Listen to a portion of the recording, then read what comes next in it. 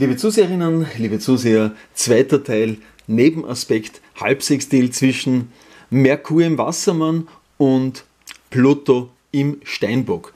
Merkur steht im fünften Haus, Pluto steht im vierten Haus und über das Halbsextil werden sozusagen diese beiden Häuser miteinander verbunden, wobei das Halbsextil eben ein schwieriger Aspekt ist. Warum? Es gibt derer Halbsextile zwei, nämlich Halbsextil vor der Konjunktion und in dem Fall das erste Halbsextil nach der Konjunktion. Die Konjunktion gibt sozusagen für den nächsten Zyklus das Thema vor und das Halbsextil sagt uns jetzt, wie tun wir? Also was machen wir, wie, wie, wie gehen wir es an, wie, wie nehmen wir den? Ja? Wie nehmen den? Wie nehmen wir denn? Äh, hier geht es darum, neue Überlebenstechniken sozusagen zu erlernen grundlegende Werkzeuge quasi zu erwerben. Und wenn wir uns anschauen, worum es geht, Merkur und Pluto, dann würde das zum Beispiel in einem Radix oder könnte es in einem Radix bedeuten, Machiavelli für Einsteiger, Merkur Kommunikation, Handeln, also sozusagen der, der Austausch mit, mit anderen und Pluto halt eben Machtspiele, Manipulation, Tiefe, äh, Tiefgang und hier geht es halt vordergründig einmal um Manipulation, die Macht der Worte, Merkur, Pluto. Also dass man sich sozusagen neue Techniken des Verführens, neue Techniken des Beeinflussens erwirbt. Wer ist der Merkur? Wer ist Pluto? Naja, das ist schon mal interessant, weil deswegen interessant. Der Aspekt verbindet nämlich den natürlichen Herrscher des dritten Hauses, der ist nämlich der Merkur, mit Pluto, der Transformation, der Veränderung.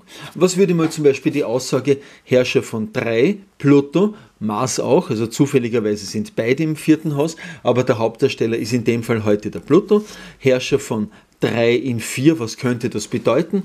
Das würde für mich vordergründig bedeuten, dass die Wirtschaft, Handel, Industrie versuchen, im eigenen Land wieder verstärkt Fuß zu fassen. Also das heißt, man kommt sozusagen weg vom globalen, äh, wie sagt man, ich überlege jetzt gerade das Buch von Hans-Peter Martin, die, glaube ich, Globalisierungsfalle. Und jetzt geht es aus der Globalisierungsfalle wieder zurück in die Regi Regionalisierung. Ja? Würde ich mal vordergründig da herauslesen. Andererseits würde natürlich Pluto Herrscher 3 in 4 bedeuten, dass die Bevölkerung jetzt tiefere Informationen bekommt, tieferes Wissen, dass man sozusagen jetzt eingeweiht wird, also die Eingeweideschau. Na, das ist wieder was anderes. Das waren, waren das die Augures? Ich weiß nicht, keine Ahnung. Das sind so, so viel Blödsinn schwirrt da herum. Das brauchen wir alles nicht wissen. 27, 57, rund 28 Grad. Also das bedeutet Fische gerade hier bekommen die Menschen natürlich auch sehr, wie sagt man, aus dem naja, ätherisch-feinstofflichen Bereich ja, äh, Informationen auch gute Intuition, gutes Gespür und witzigerweise ist Merkur auch tatsächlich der Herrscher des zwölften Hauses und des eingeschlossenen neunten Hauses, also auch Nebenherrscher 9, Herrscher 12. Das würde natürlich bedeuten, dass hier jetzt, naja, ja, es geht ja, es geht ja, der Langsamere sendet seine Energie zum Schnelleren. Ich hätte es gern umgekehrt gehabt. Aber ist wurscht, ja. Aber sozusagen, hier kommt die Energie aus dem vierten Haus ins fünfte Haus, egal wie es ist. Hier haben wir jetzt einen Wissenserwerb, einen neuen Wissenserwerb. Die Menschen bekommen jetzt einfach Zugang zu tieferen, besseren Informationen was auch sozusagen vielleicht vom Kosmos so gewollt ist, weil das zwölfte Haus steht ja in positiver äh, Interpretation sehr stark für eben das kosmische Wissen, eben für die neptunisch-kosmischen Kräfte. Und weil der Merkur im Wassermann in der Erhöhung steht, im fünften Haus hochkreativ ist, hochaktiv ist, äh, würde ich sagen, dass hier einfach jetzt eine Vorbereitungszeit für tieferes, gründlicheres Wissen läuft. Ja? Also wir befinden uns jetzt in der Phase zum Sextil. Das Sextil wäre dann äh, Ende Fische, wahrscheinlich auch so um die 7, 28 Grad in den Fischen. Ja, wie kann man, wie kann man diesen Aspekt noch interpretieren? Ihr wisst ja, ich bin immer auf der extrem positiven Seite, gut, das war boshaft. Äh, Wirtschaft, Handel und Industrie, denen geht es dreckig, ja, denen geht es einfach schlecht.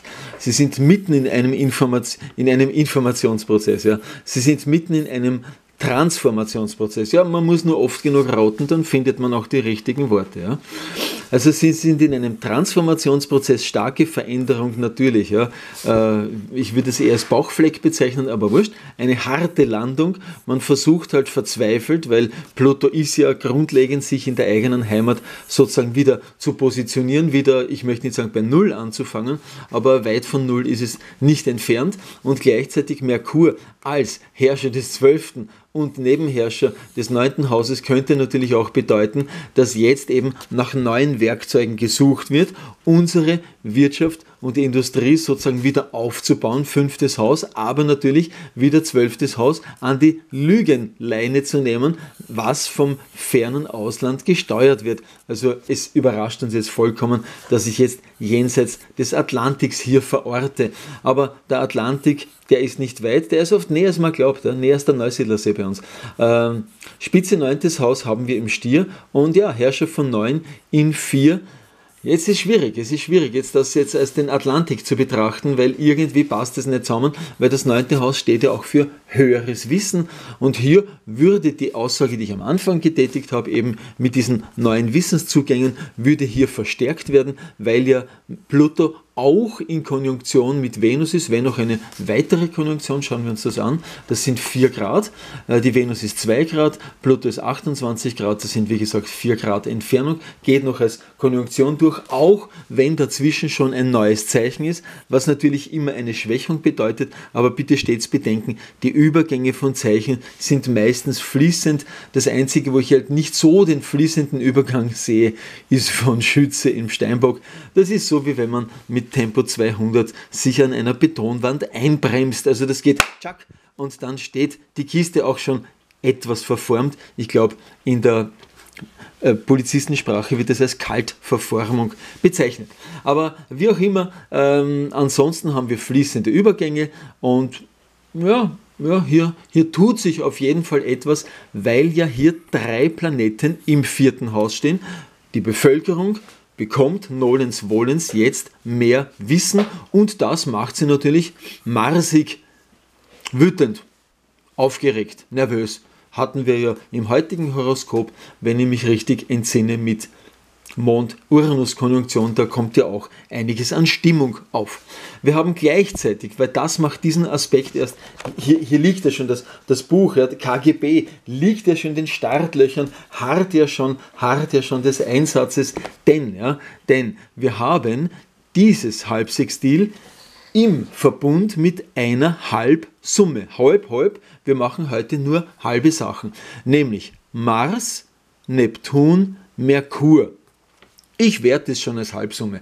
Äh, ein Grad, das sind wir großzügig. Auf jeden Fall haben wir hier, was für mich wichtig ist, ja, im Zusammenhang natürlich mit der Aussage, dass eben Übersee versucht, unsere Wirtschaft wieder an die Leine zu nehmen, zwölftes Haus, äh, dass man sozusagen es wieder von vorne spielen möchte, das unselige Spielchen, welches da seit längerem gespielt wird. Und was sagt uns diese Halbsumme? Es ist ja eine spannende Verbindung Mars-Neptun. Das hat schon ein bisschen so den Beigeschmack von, äh, wie hat der eine gesagt, ähm, habe ich auch gehört, hat mir glaube ich der Alfred erzählt, äh, sozusagen hat schon irgendwie den Beigeschmack davon, äh, Löcher in Wasser bohren zu wollen. Also es ist ein sehr spannendes Unterfangen. Man muss schnell bohren. Es ist eine Art Momentaufnahme, weil irgendwie Mars, Venus, äh, Mars, Neptun hat immer so ein bisschen das Scheitern äh, im, im, im Rückengepäck. Obendrein, wenn der Neptun auch der Herrscher des sechsten Hauses, also der Krankheit per se ist. Ja? Also ganz aufregender Aspekt. Wir lösen ihn gleich auf, wir lösen ihn gleich auf.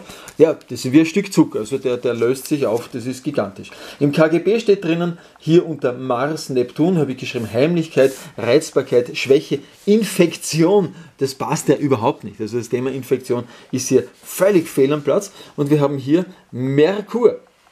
Äh, Gedankenlosigkeit, Nervenschwäche als Folge von Genussgiften. Ja, wenn man sich Genussgifte verabreichen lässt, ja, Geistesschwäche, ja.